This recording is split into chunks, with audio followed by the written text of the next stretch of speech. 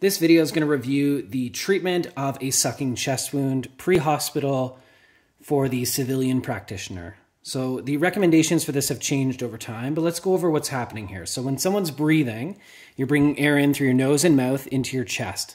That's using negative pressure. Your diaphragm's pulling down and it's sucking air in.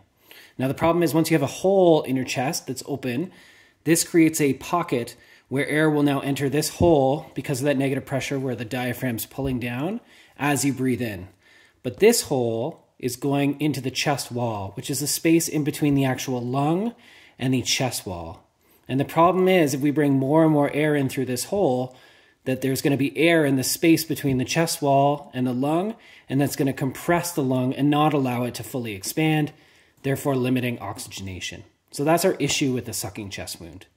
Now, our old school management was to use an occlusive dressing like a plastic bag placed over this and taped down on three sides. Now, the challenge was this is very difficult to do on a sweaty patient with lots of blood, and it was really difficult to get this done right. And usually, what happened with all the sweat is this would just completely stick down. Now, the problem with completely covering this and not allowing air to exit that hole is you can build up pressure in the chest, called tension pneumothorax, and this can put pressure on the heart and cause it to be difficult for the heart to actually circulate blood to the body.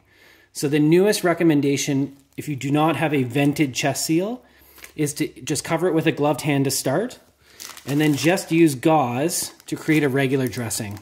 Now, you can also leave this just open to air, but they're saying put some gauze on. If it does get saturated with blood and the patient is doing worse, then take it off and replace it with some new gauze.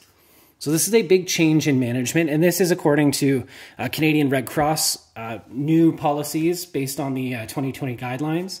So that's our management of a sucking chest wheel with nothing. Gloved hand to cover it. You could put some gauze on it.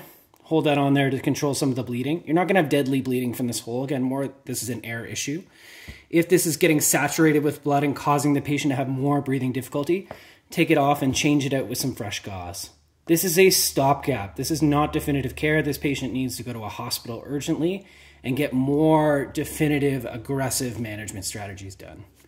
Now, something that you can purchase to add to a kit uh, to deal with a sucking chest wound is a chest seal. So this is our Recon Medical chest seal that's vented. So the difference between this and a plastic bag is that this actually has almost like a gel-like adherence on it, and it has venting pathways. So you're actually going to put the hole right over where the sucking chest wound is. You're going to take off the, the peel the adhesive cover and seal this down. And now what will happen is as the patient breathes in, this will cover the hole to reduce air from going into the chest. But as they breathe out, air that's trapped in that space between the lung and the chest wall can actually exit through these vented channels. So you have three vented channels. And the reason for multiple vented channels is in case these get clogged up with blood. So you can place this over a patient.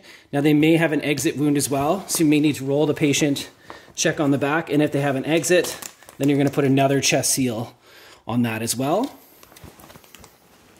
But that's the whole idea with the chest seal. It's a really sticky gel pad. It's gonna adhere much better. Now these pads do also come with some gauze. So when you first expose the wound and find it, you're probably going to find lots of blood and sweat. You're going to take that gauze and clean off the area as best you can to improve the adhesion of the chest seal. Take off the backing to expose that gel and then stick the chest seal on the patient. Now, if the patient is getting worse and these are getting clogged, you can actually use your finger just to clear these channels to make sure that they're venting properly. So that's the management of a sucking chest wound in a patient pre-hospital. Again, this would be a 911 emergency. So all these devices or treatments are just trying to reduce the air entering through the sucking chest wound to reduce how much pressure is being put on that lung. And we just want to be cautious when we're doing this to not completely occlude this and build up pressure in the chest that's going to cause difficulty for the heart pumping.